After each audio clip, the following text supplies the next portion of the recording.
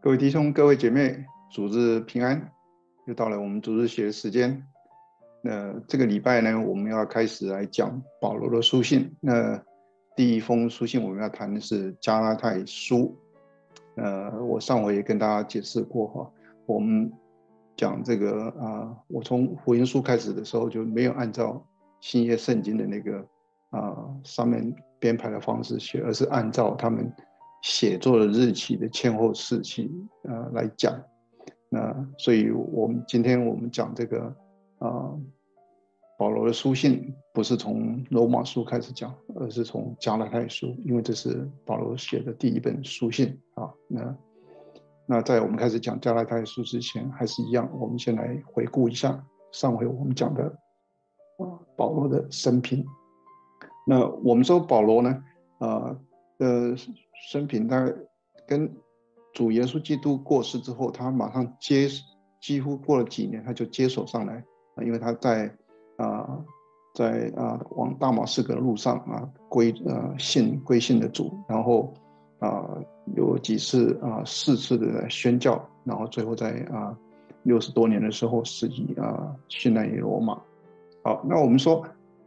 新约书信总共有二十七本经文哈。那里面啊有十三本是保罗的书信，当然也有人讲说十四本，因为这里面有包括那个希伯来书啊，那所以那如果十四本的话，那就超过百分之五十是保罗所写的啊。那十三本的话，大概占百分之四十八。那保罗呢是第一个最早用书信方式把这个基督教教育记载下来的人啊。那也因为是这样子，所以保罗呢的书信呢在其他。使徒写不管是福音书，或者是写其他的啊经文之前呢，都已经有听过或者看过保罗的经文写的书信，所以保罗对大家影响其实上是非常非常深远。呃，所以在以教育这方面来说的话，保罗可以说是在主耶稣基督之外，对基督教影响最大的一个人。那我们上回在讲保罗的书信的时候，呃呃，保罗生平的时候有稍微讲了一下啊，保罗在什么地方哪一年啊写了书信，那我就把它整理啊列表在这里。从加拉太书信在啊公元前四九年开始，一直到啊六十四年左右，他写了提多书跟提啊提摩太后书啊，那这这个就是整个他啊。写书信的啊前后事期，那我会按照这个呃程序这样来啊跟大家来谈这个主日学，所以啊如果大家准备的话，可能可以按照这个次次序啊在家里面啊啊先啊研读，那到时候我们来讲主日学，大家就会啊学啊啊听得比较啊多一点，就是比较容易一点。加拉太书的写作呢，作作者当然是保罗，写作年代大概在啊公元前四十九年。他是写作的地方是在叙利亚的啊安提阿教啊那，那他写作对象是给这个啊加拉太地区的教会，所以就为什么取名叫加拉太书，原因也是这样的。那下当然这也是他啊写作的第一封书信啊。那当保罗的第一封书信到底是加拉太书还是别的啊？也有人讲说是呃铁沙龙尼迦啊前后书哈，嗯。这个学者有些争议啊，那我是比较站在说是以加拉太书是第一封，而且是在啊公元四十九年时候写的，呃这种说法，所以我们就按照这个次序来啊啊做我们的主日学的讲解啊。那他写作目的实际上是主要是为自己辩护啊，呃，同时也辩护自己所传的福音的啊正确性啊，嗯，同时他也要指出来，就是其他的那个犹太啊基督徒他们所错误的那种教导。啊，最重要是在这一封书信里面呢，他第一次开始提出一个啊观念，叫做因信称义的教义啊，同时也指出来啊，立法是有它的局限性啊。那这个加拉太书的大纲啊，基本上可以分成好呃好几个类别，但是啊，第一在第一章一开始，他主要是在为自己的使徒的啊职分跟啊传福音的权柄来辩啊辩护哈。啊，最后再来呢，他就开始来讲，啊，恩典的福音的内容跟证明恩典福音是唯一得救的啊啊途径啊，这个开始就讲到啊信心的啊我因信称义的问题啊，嗯，那再来呢，他就会讲说，因为恩典福音所产生的结果呢，是讲让人脱离这个啊律法的控制啊，在恩典里面能够过得自由的生活。那最后呢，啊啊，大家就可以得到啊圣灵降临啊，过得啊有圣灵带领的生活。那整个这个加拉太书写作的背景啊。事实上是在啊面对一个啊内外啊基督徒面临的一个内外冲突的啊社会状态之下啊形成的。那基督徒早早期啊是当然受到这个啊犹太教当前派的压迫啊，啊当然也受到呃各地有啊一些啊不支持这个拿撒勒教派的人的犹太人的大压迫。那当然我我们从使徒行传里面也看到哈。啊，有些外族人，因为他们这啊，这个啊，受到那啊基督教的关呃关系，然后影响他们的财路，或者是影响他们啊对啊宗派宗教里面啊的祭祀，因为宗宗教祭祀基本上就是一个啊经济啊财源的来来源，所以他们财路被挡，他们他们有些外族人也会反对。那当到更后来的时候，到呃公元六十多年的时候，这个呃尼禄皇帝开始第一次啊大规模的打压这个基督徒，啊，然后这后来又很多啊啊皇帝啊开始打压，那但但是这个是比较后期的事情哈。这个同时呢，啊基督徒内部也开始了有一些冲突。我们从使徒行传里面事实上就有看到，啊讲希腊语的跟讲啊。亚兰文的啊，就是巴勒斯坦当地的这个啊基督徒哈，那之间实际上在啊使徒行传里面，我们就看出来有一些冲突，所以后来他们就组织了一个啊七人小组嘛，对不对？啊，那由史蒂芬来做领导，对不对？啊，那所以这个犹太人的基督徒啊，犹太人的信徒啊，他们基本上有个习惯，就会要求的啊外族的信徒要怎么样？外族人的信徒要接受啊，就遵守这犹太的传统，那。那到后来呢，另外一种冲突讲就是外族的啊信徒啊自己本身就又产生出来，他对这个啊基督福啊身份还有福音的解释不同的解释，那造这样当然这个就造成一些啊错误的信仰那，比如像诺斯底派就是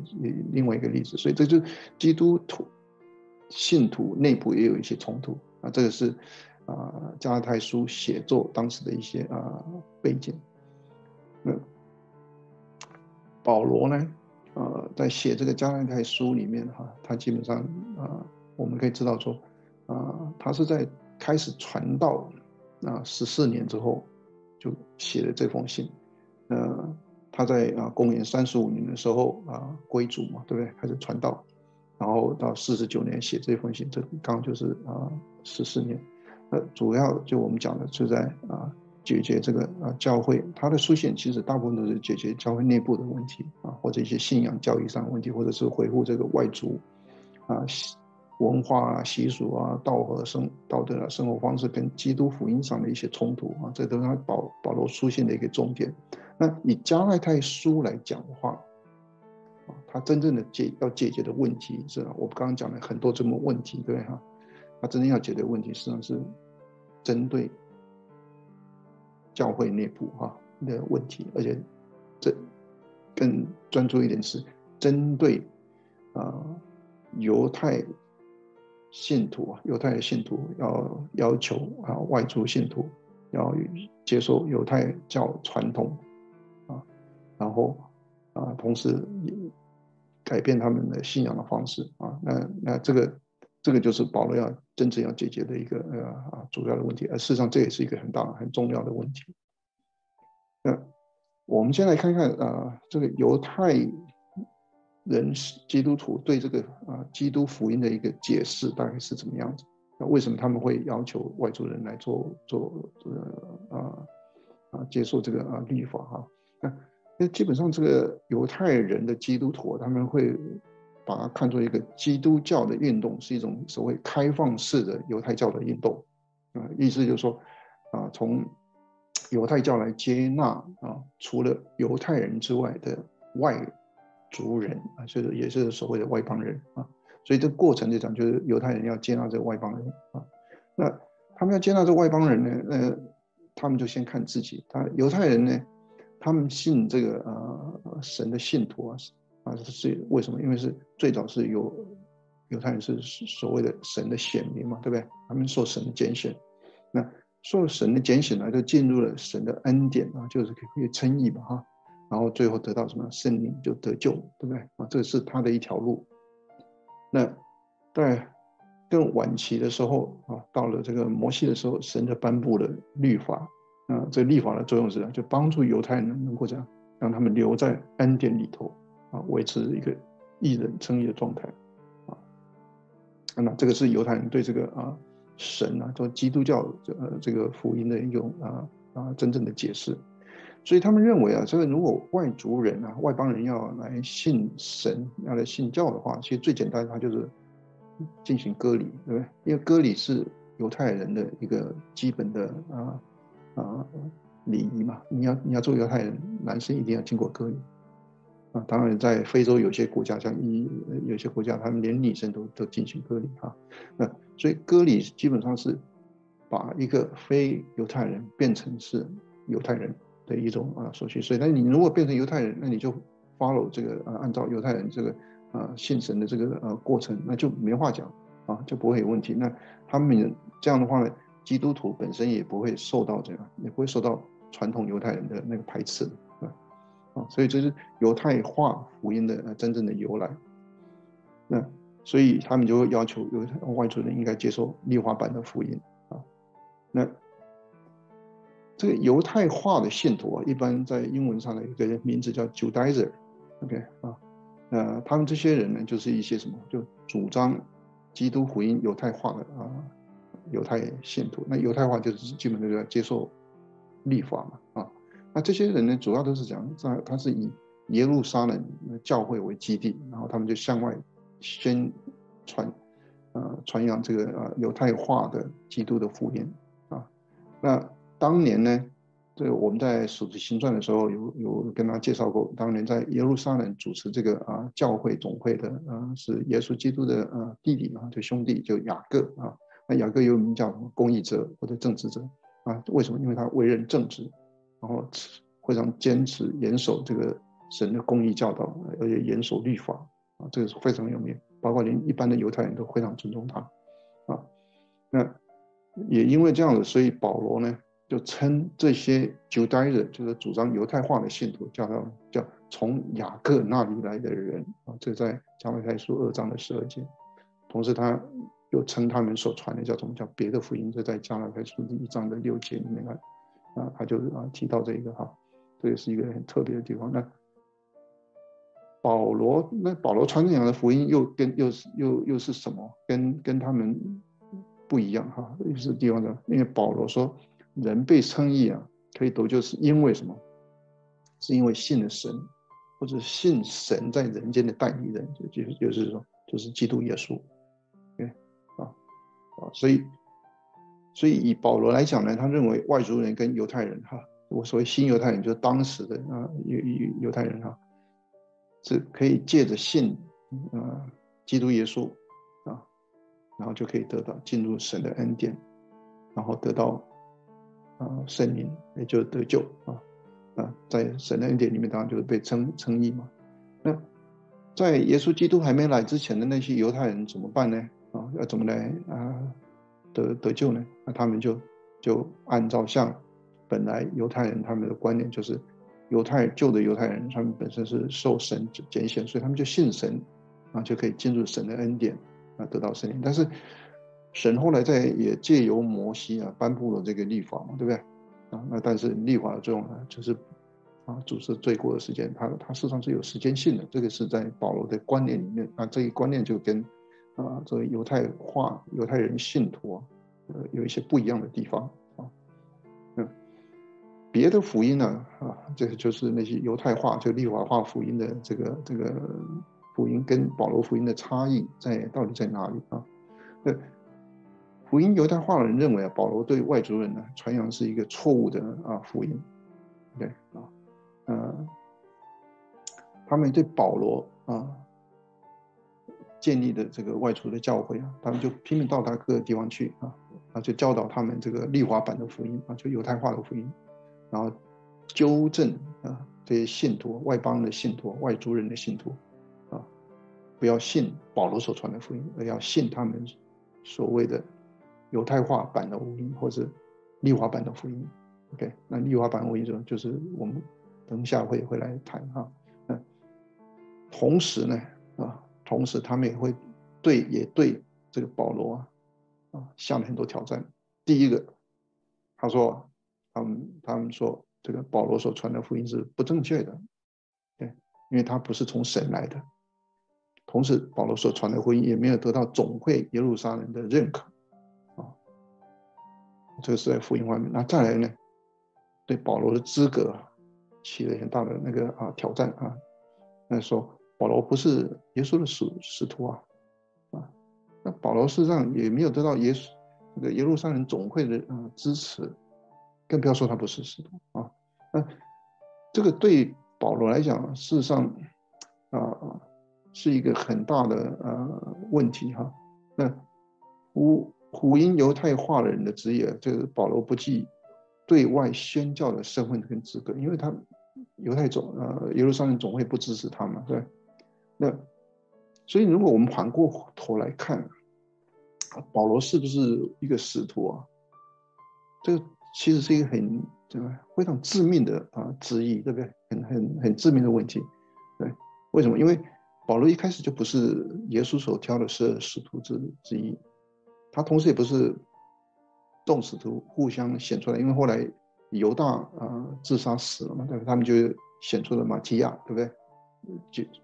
啊，抓阄，然后献出的马基亚，那保罗甚至也不是，也不是这个，啊，众使徒互相选出来的。那所以这些犹太人啊，啊，就就对保罗一个很大的啊啊质疑，就是你怎么可以自己妄称自己是使徒，然后就来要来宣教，啊，来传扬福音？你传扬的到底是什么啊？这这个事实上是一个很关键的啊啊质疑。那也因为这样子，所以保罗呢，就急急着要赶快来把这个问题啊解决掉啊。所以当他呢在写这个加拉太书信的时候啊，我们可以注意到，保罗写的这一封加拉太书，他没有按照一般正统的第一世纪书信的格式，先问安，然后再来这样啊正文，然后再来呃啊。祈祈福祷告，那么是这样。对他一开始这样，事实上，等一下我们就会看到，他一开始这么，马上就开始反驳，啊，甚至是从第一句话就开始反驳。好，我们等一下可以来看。啊，这个在加拉太书的一章的一节，他就这样讲，他说啊，我是啊，借着啊，耶稣基督，也是与叫他从死里复活的父神啊，是借着这两。是借着耶稣基督，还借着呃父神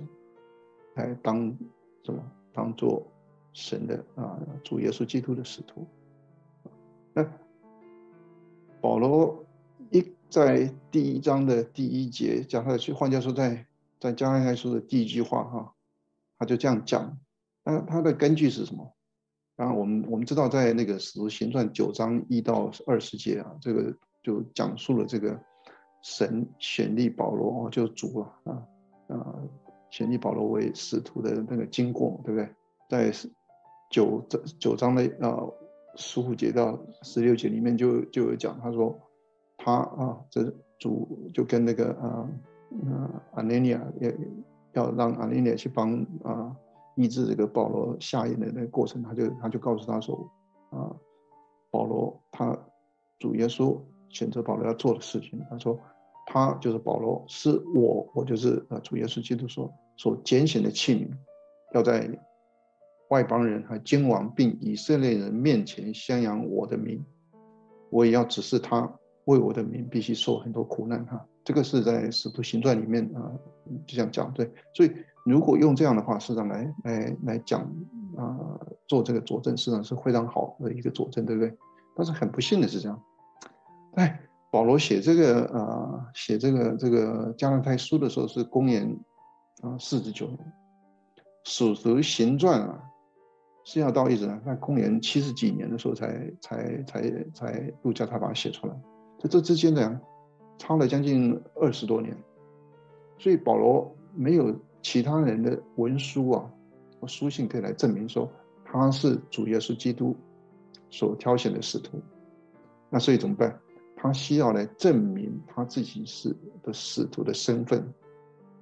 ，OK，而且他也要证明的，他是有受受到这个啊耶路撒冷总会的支持，还有他们认啊对他宣教的认可，所以他需要提出一个一个很有信度的哈可信度很高的这个历史的陈述啊，这个是他唯一的一个啊必要的说法。那我们看看他怎他怎么来来来说这件事。那在第一章的呃十五到十九节里面就开始讲，他说我甚至从母腹开始啊，就是神就就已经啊呼召了我，对不对？啊，然后呢，同时在路在往大马士革路上，他把神把他的儿子就是主啊启示在我心里，同时叫他要讲去传给外邦，而且去外邦人中传他福音，对不对？那这之后呢？他本身就讲没有去跟属血气人商量啊，因为他他也没有上耶路撒冷去见那些比他更早做啊使徒的，他去了啊亚拉伯。换句话说，主耶稣都基督选他当使徒之后啊，啊，他也没有去找任何人，也没有找任何其他使徒来来谈事情，他黄去到到啊阿拉伯去了。然后过了三年之后呢，他才去啊耶路撒冷去见了谁？见了皮呃基法，就是 Peter 啊，然后也见了主的兄弟啊雅各啊，因为雅各当时是主持这个啊耶路撒冷教会的啊啊呃主教，对不对啊？那所以所以他把这个过程跟大家讲了，然后呢，在加纳加纳太书的二章一到九节，他又讲了。这个之后呢，过了十四年，啊，这个我们在《使徒行传》里面事实上也有提到啊，他他跟巴拿巴一起上耶路撒冷去，为什么？因为当时在啊那个呃安提阿教会就碰到这个啊这些犹太化教徒啊啊，就旧代日去那边呃挑战啊这个啊这个因信称义的问题，还有这个啊到底要不要受割礼的问题，对啊，那他去那边以后呢，这个啊。啊，他就说，那些那个感动彼得叫他受割礼的人，呃，做使徒，也感动我叫我为外邦人做使徒啊。就换句话说，在这个时候，啊，他他跟北彼得一样，都是啊受神感召呃来做使徒。同时呢，在总会的雅各啊计划，就彼得彼得跟约翰，他们就想着我还。按这个巴拿巴用右手行相交之意啊，让叫他们往外邦人那里去，啊，然后他们呢去往受割礼的那里去。换句话说，他他跟巴拿巴是要去跟外族人宣教，嗯，彼得他们呢是要去跟啊犹太人宣教啊。就当换句话说，他的宣教事实上是有受到啊耶路撒冷总会的啊认可跟支持的。这个他就提出一个很啊啊这种啊有历史证据的这种辩护出来啊啊，所以所以紧接着在加加拉太书的一章一节那几节里面，他又讲，所以我呢是当使徒，不是由于人，也不是借着人，我我不是因为人家说我是啊啊使徒而变成是，也不是让。别的人说我是使使徒而变为使徒啊，那这个这个这个这个就是他自己啊对啊这个使徒身份的一个啊辩护啊。那当然我相信，我觉得他这提出一个非常好的啊啊辩证啊。那比较重要一点，我们刚刚这他提出的这个加拉太书一章十七节里面的经文，他就讲说他。归主之后啊，逃离大马士革就到哪里去？就到阿拉伯去，然后三年之后呢，才到耶路撒冷。那这三年里面，他在阿拉伯做什么？基本上他在自己等于就是做灵修啊，祷告灵修，与神对话。那做什么事啊？啊，继继续得到神的启示跟教导哈，来重新了解神整个神的救赎计划啊，还有福音。为什么？因为因为他本来了解的是犹太教啊，比较老的啊那种啊啊传统跟啊对神的那种啊了解，还有那种教导，但是主耶稣基督啊降降生之后啊，啊。给了一个新的教导，那但是他没参加，没参加，所以他就借着这三年呢，直接跟主跟神之间做互动啊，然后重重新来了解这个啊，真正神的啊救赎的计划是什么，神的福音是什么，同时他也了解到啊，耶稣基督的真正的任务角色，还有他死而复死而复活的真正意义又是什么啊，然后他也了解到人。啊，以一个罪人的身份，在这个整个的神的救赎计划里面是如何得到救赎的？那当然最重要的是，他在这这个神的救赎计划里面头扮演的任务跟角色又是什么？啊，这个是他的三年。所以保罗在这个啊还没有去跟别人见面之前，事实上他从神这边得到很多很多的这个啊见解。这就是他讲啊到阿拉伯去三年一个最重要的啊啊地方。啊，所以，所以他在啊一章的十一到十二节里面就就开始讲，他说：“我素来所传的福音呢，不是出于人的意思，啊，因为我不是从人领受的，啊，也不是人教我的，啊，乃是这样从耶稣基督启示而来的，啊，所以，所以，所以这个旧代人在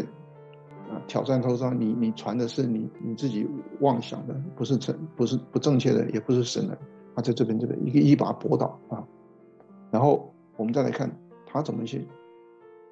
斥责这个啊犹太人啊这些犹太化人的讲的那个福音啊，他在一章的七到八节里面他就讲，他那些人所传的并不是福音。啊，他们呢要把这基督的福音更改啊，然后他他就开始骂他们。说，如果传福音给你们与我们所传福音不同。他们就应该被诅咒，那这边我就把刚刚我给跟他讲的那两个福音的表哈，一个是别的福音，另外一个是神的福音啊，啊，这两个你可以看到，事实上过程是有一点不大一样的地方啊，啊，那个啊犹太化或利瓦化福音的人，就是叫大家要根据啊根据这个既有的犹太教的那一套立法的程序来。来来走来信教，但是保罗呢要求大家在要经由主耶稣基督这条线来看，因为主耶稣基督来了以后，已经做了很大神神让主耶稣基督来了以后，已经做了很多的啊改变了哈。我们回过头来看看哈，这个保罗对这个律法啊的一些了解跟认为是为什么啊那种律法的想法。啊，到这个时候已经啊改变了啊。那立法的颁布啊，最早是讲是神啊，在当摩西带的啊犹太人啊出埃及之后，在啊旷野流浪四十年嘛，对不对哈？嗯，当他们到达这个西南山的时候，他就颁布了这个啊十诫，就十条诫命啊。那这个十条十条诫命里面呢，啊头四条哈。就有论到论到人跟神之间的关系，就人怎么样跟神相处啊？怎么怎么敬神敬拜神啊？那后面六条呢是讲人跟人的关系啊啊不不可杀人啊啊不可盗窃啊不可贪贪贪恋别人的啊妻子还有财产对不对啊？对不可说谎话这这类啊，但是后来呢啊这犹太人就根据这个世界，他们就发展出来一套啊律法。对，那这律法呢，本身怎样？总共有六百一十三条，其中呢，两百四十八条是讲正面表列啊，就是英文所在的 “thou shall”，就就你应该要怎么样哈，然后然后你应该怎么怎么怎么啊，这个这个正面表列。那有三百六六十五条是负面表列，就是 “thou shall not” 啊，呃，你不可以怎么样？OK 啊啊，你不可以杀人啊，对啊。嗯，但是如果我们把用另外角度来看的话，嗯，它事实上可以分成两大类，一一大类是讲就祭祀礼仪的规范，啊，这个大概差不多有两百多条啊。那另外一大类是啥？就是所谓的道德跟公共卫生的规范啊，大概有三百，就是要差不多将近四百条啊。祭祀礼仪的规范呢？在公元四十九年的时候，因为圣殿还在啊，所以还还还可以执行。但是到后来呢，当然，比如像啊犹太啊犹太人后来在六几年的晚期啊，跟七零年的早期起来起义反抗罗马人，就后来耶路撒冷圣殿就被毁，罗马人毁掉，呃，整个圣殿就不存在了。所以从那个之后呢？祭祀礼仪的很多律法就根本就没没办法执行。这个呃道德公位的这个规范呢，事实上倒是到现在啊还是有蛮多人啊是可以可以执行的啊。立法化的福音呢，基本上是这样啊。这个保罗也把它写在这个啊加拉太书里头，在第二章啊三节第四章的时间里面，他就会提到啊，第一个是要要受割礼成为犹太人嘛啊。那第二个在四章时间里面他讲说叫严守犹太的啊日期跟节期，对不对啊？呃，当然要守饮食的法规啊，啊，呃，守道德生活的规范啊，甚至也要守祭祀礼仪的规范。在公元四十九年的时候啊，那时候圣体还在嘛啊，所以立法化福音基本上就是这样的一个啊啊啊状态。那看起来这个基本上就是犹太教的一些规矩。但是因为要这样做，就会造成什么问题？就造成这个外族非犹太化的信徒与犹太人信徒之间形成隔阂啊。最简单就没办法聚餐，因为他们饮食习惯不一样，一个要 kosher food，一个是一 non kosher food。那那这当然你就没办法一起吃饭，没办法聚餐，没办法聚餐就很难在一起啊啊侍奉神嘛，对不对？啊，那同时对这个外教的慕道者呢，添加很多困扰麻烦的手续，对不对？那就那当然就会增加这个传教啊。或者信主的这种困难度嘛，对不对？啊，这个都是因为啊采取这种啊立法化婚姻的一个啊啊啊问题。那保罗就开始来跟大家讲，这个立法化婚姻事实上是不必要的。啊，为什么？第一个当然就是最根本的，因为基督已经来了，你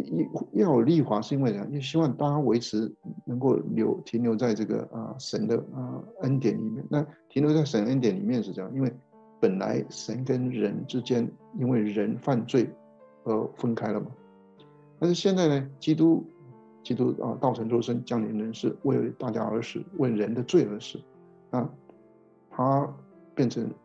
为我们变成我们的赎罪羔羊啊，把我们跟人跟神之间的关系就重新修好，所以我们就不需不必要再去走立法化福音的那那那那那那一条路径，对？啊，这是第一点。那第二点呢？他也举了一个亚伯拉罕的例子啊。这当然在啊，我我后面把几段相关的经文都啊列在那里，我就不一一啊陈述啊。它它里面最重要是讲，就是对神的信心呢。啊，亚伯拉罕对神有信心，所以他就被称为义啊。那同时也得到了啊神啊立业跟他立业说，我我对你的后代会有一些应许啊，会有一些应许。那。但是这件事啊，是在什么？是在立法颁布之前的四百三十年发生的。换句话说，换句话说啊，这亚伯拉罕被称义啊这件事啊，是这样，立法还没产生之前就发生过的。所以显见呢，人被称义啊，跟立法事实上是没有关系的。最主要是，最重要是，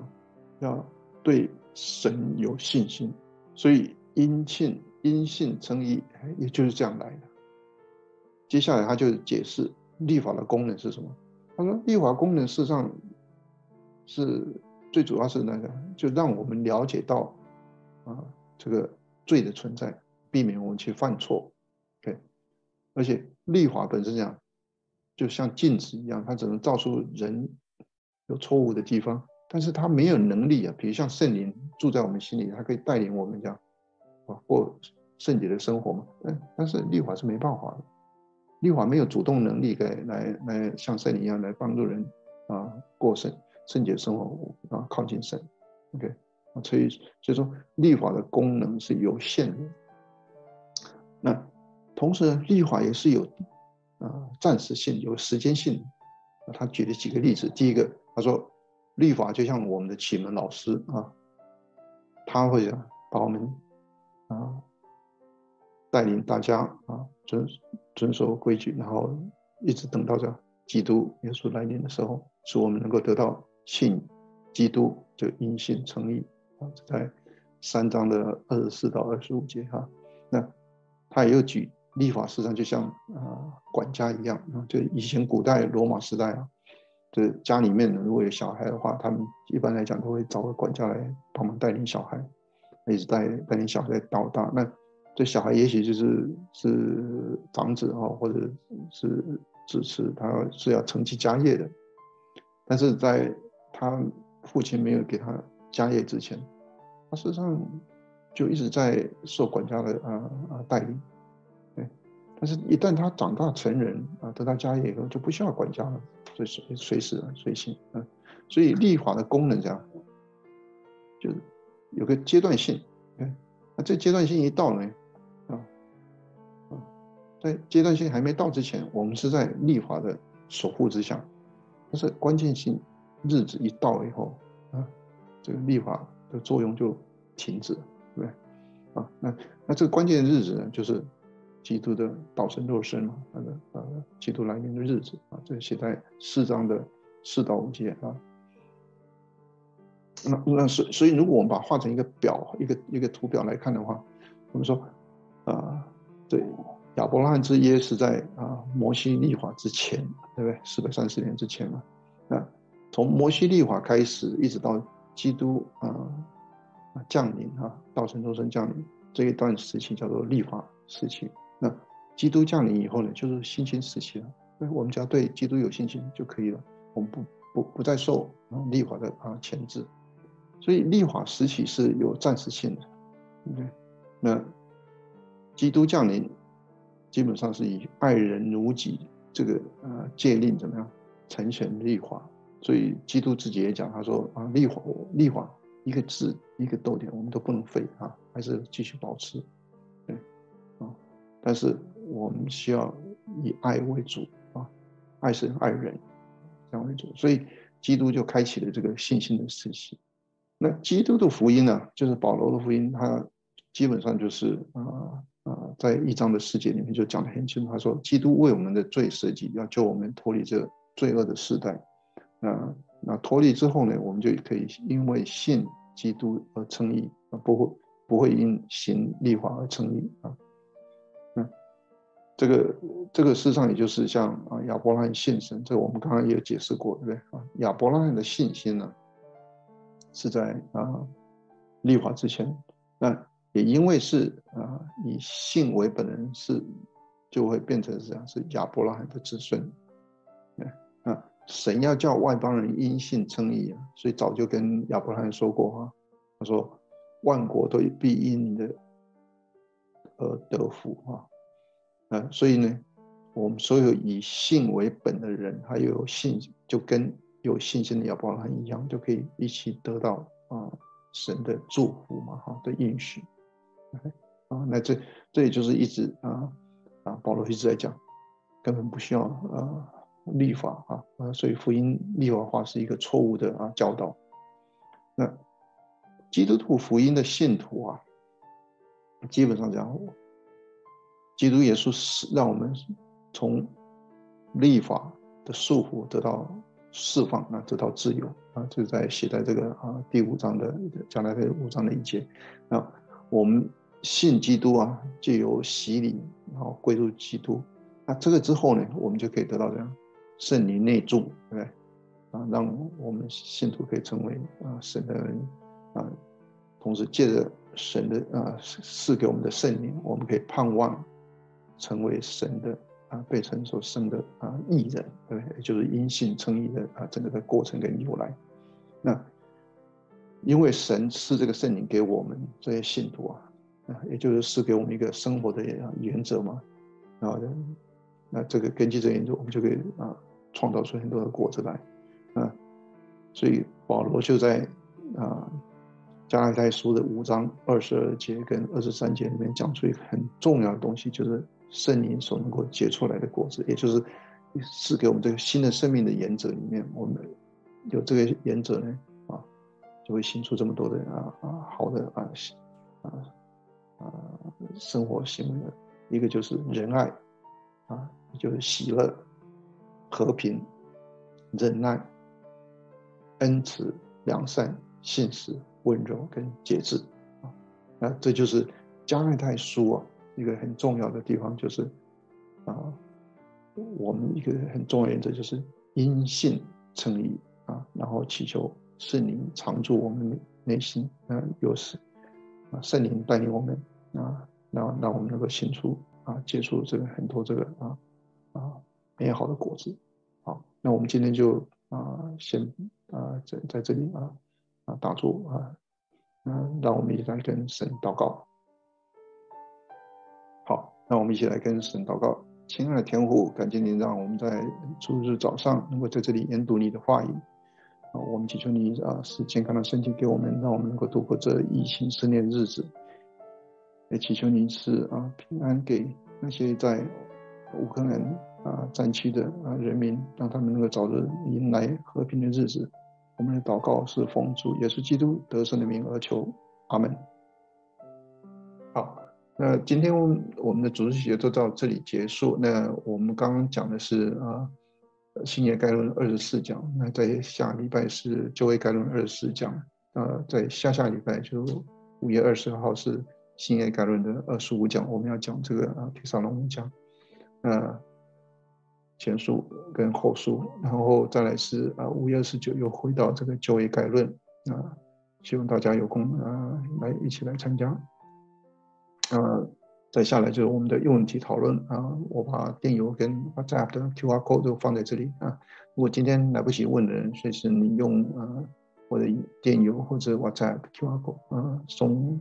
你的问题给我，我会很高兴的一天一起来跟你讨讨论。好，谢谢大家。